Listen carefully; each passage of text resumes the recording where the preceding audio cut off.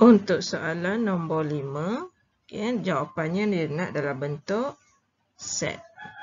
Okay, tapi sebab soalan objektif kita tak kita tak perlu risau sangat sebab kita ada guideline. Okay, so kita tengok ya. Sekarang ni kita ada uh, positif 2x tolak 1 apabila kurang dari 3x tolak 2. Kemudian kita ada satu lagi negatif 2x tolak 1 apabila kurang dari 3x tolak 2. Okay, oleh kerana uh, nilainya situ kecil, so sini sebenarnya adalah done. Okay, dia done. So kita selesaikan yang biru dahulu. Yang biru tu kita akan dapat 2x tolak 1 kurang dari 3x tolak 2. So, sini akan dapat 1. Sini akan dapat. Uh, kita akan dapat X. Betul? Okey, itu yang pertama. Yang kedua. Negatif 2X. Positif 1. Okey. Kemudian kita bawa sini jadi negatif 3. Sana akan jadi 5X.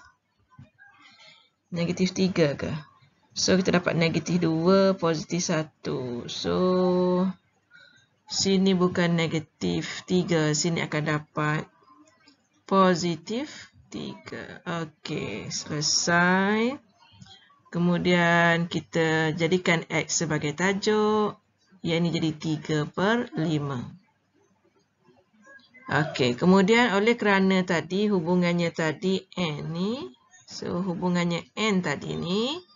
Jadi kita perlulah lukis pertembungan di antara garisan berwarna biru dengan garisan berwarna kuning.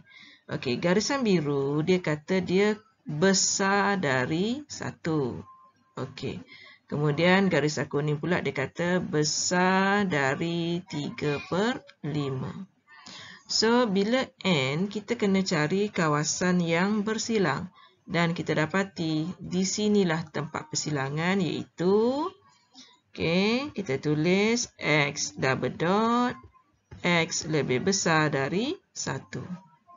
So, jawapannya ialah B. Okay, jawapan soalan ni ialah B.